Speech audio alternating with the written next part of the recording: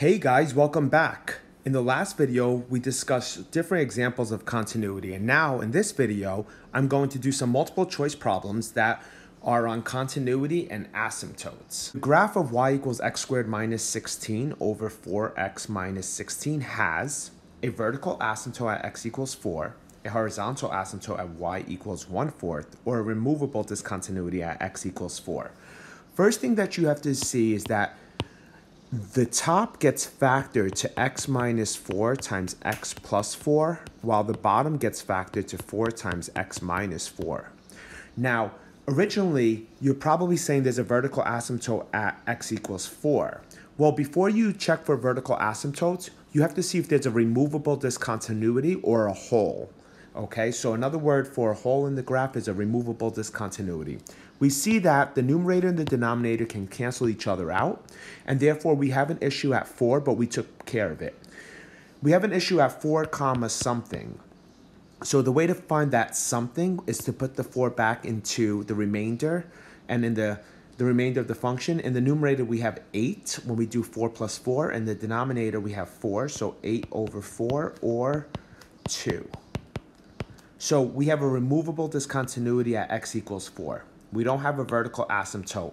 We would have had a vertical asymptote if they didn't cancel. A horizontal asymptote would have been 1 fourth if the denominator had a square there because then they would match and then you would reduce. I hope everybody had the opportunity to watch the vertical asymptotes. Great. Now let's try some of these calculus problems. Um, pretty much any calculus, but this is for AP calculus, okay? So it says uh, f of x is equal to x squared minus x over 2x for all values except x can't be 0. That makes sense because if x was 0, we would have an undefined in the denominator. But for f of 0, I'm going to make it set equal to k. And they're telling you f is continuous at x equals 0. Then what does k have to be?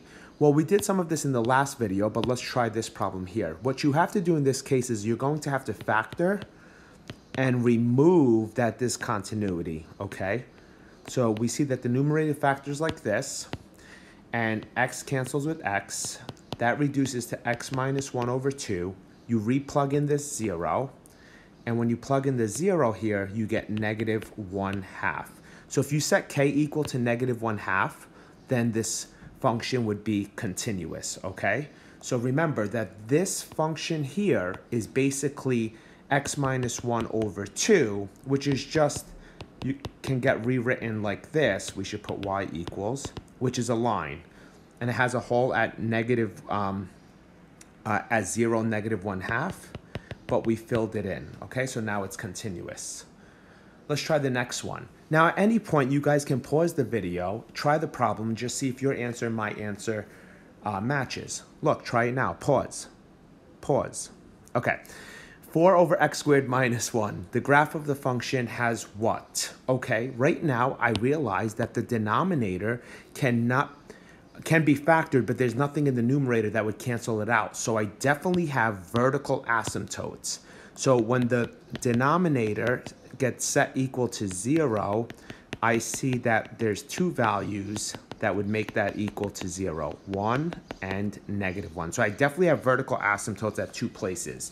Now I need to check to see if there's a horizontal asymptote because the problem has things about horizontal asymptotes, okay? So how do we figure out horizontal asymptotes? We take the largest x value in the numerator which is basically 4x to the 0, even though th there's nothing there, because we know x to the 0 is 1, over x squared. That just leaves you with 4 over x squared. Horizontal means what happens as the limit approaches, x approaches infinity? Well, if you pick a really large number, do you guys remember from my last videos? 4 over built is probably 0. So we have a horizontal at y equals 0. Another name for horizontal on y equals 0 is the x-axis. So my answer is choice C. And I believe this is the last one, almost the last one. Okay, let's try this problem here. This is fun, right? Okay, here we go. Let's factor the bottom, because I know there's going to be problem. So x minus 2, x minus 1.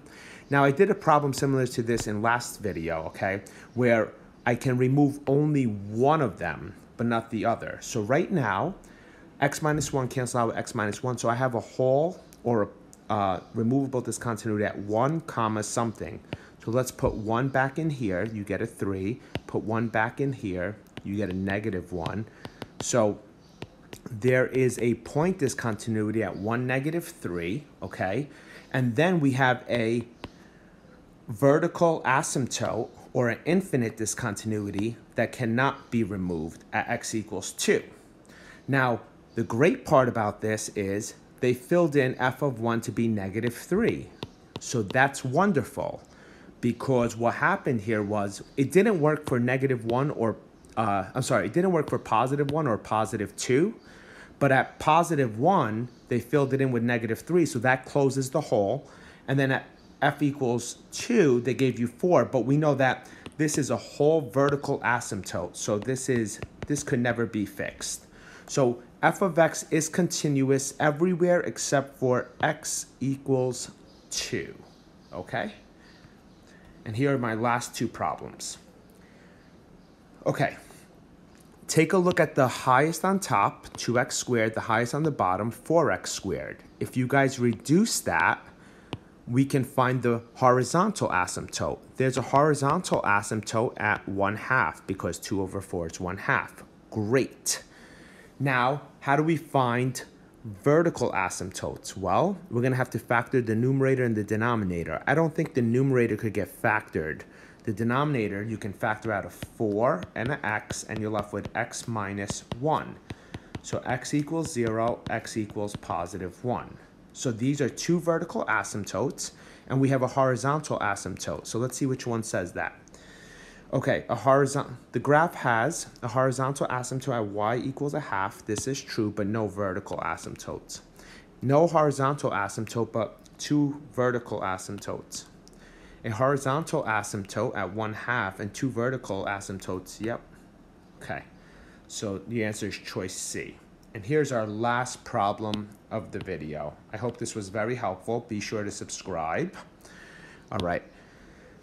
F of x equals x squared plus x over x. Great. I think the numerator is factorable. I think the denominator has those two in common. The x and the x cancel out. And they tell you that x can't be 0. So let's cross those out and let's put 0 back into the remainder of this there's a hole at 0, 1, okay?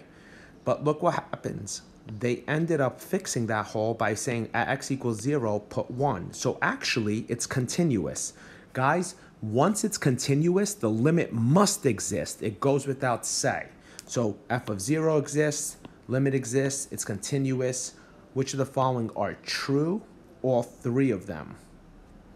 Okay, I hope you guys enjoyed this video. Come back for the next one.